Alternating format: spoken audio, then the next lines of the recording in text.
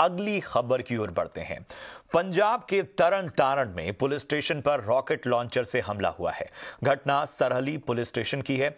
इसी police station पर rocket launcher से हमला किया गया।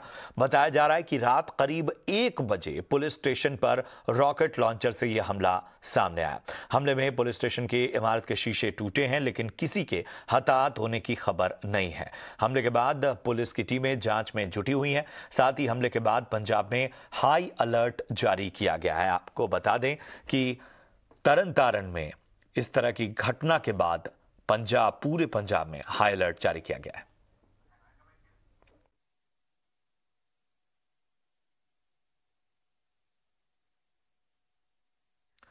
चलिए, बढ़ते हैं आगे।